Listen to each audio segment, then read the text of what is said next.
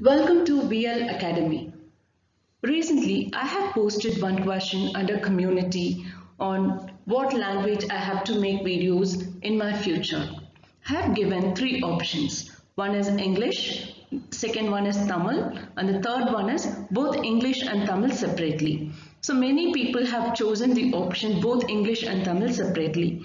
Because of that, I have initiated with the topic verbal presentation in this video in English language.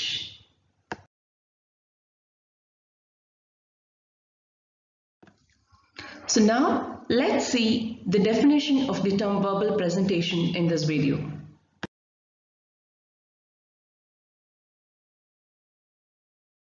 The term verbal presentation implies a seminar taken by a student inside the class or a lecture by the professors or any presentation given by the guest organized by the institutions all has its own common character such as the presentation time will be a very short span of time.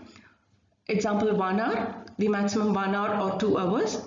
And the topic will be well and planned in advance. And the presentation given by one or more than one person.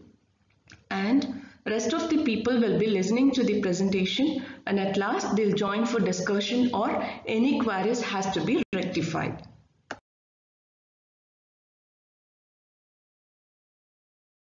Thank you for watching this video. If you really like this, please do share and subscribe and thank you once